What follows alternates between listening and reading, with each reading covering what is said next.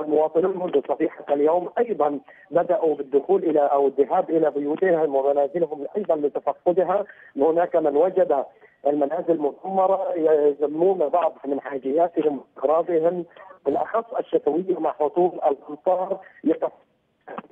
انت تعلم أن هطول الأمطار البرد القارس الذي يعني الناس وبدأ الناس يشعرون بهذا البرد يعني الناس تريد الآن أن تحتل بالملابس الشتوية خصوصا انهم غادروا منازلهم من القصف بملابسهم العادية ملابس يعني الفانيلات الخارجية أيضا.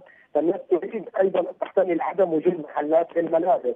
الناس منهم من حاول إخراج بعض هذه يعني ملابس بعض الحاجيات التي تلزمهم الخيمه لا تحميهم من الامطار قالوا لنا الله في هذه الشتوية وفي هذا المطر.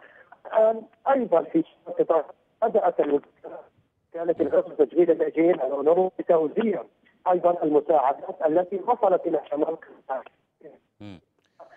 المستشفيات للمواطنين الذين بقوا يعني في شمال قطاع غزة بالاخص اما هنا في مدينة غزة وبالأخص في المنطقة الوسطى. أثناء تجولنا بينها يعني مقابل أنا مقابل الآن مركز لواء المدرسة تلم آلاف من النازحين.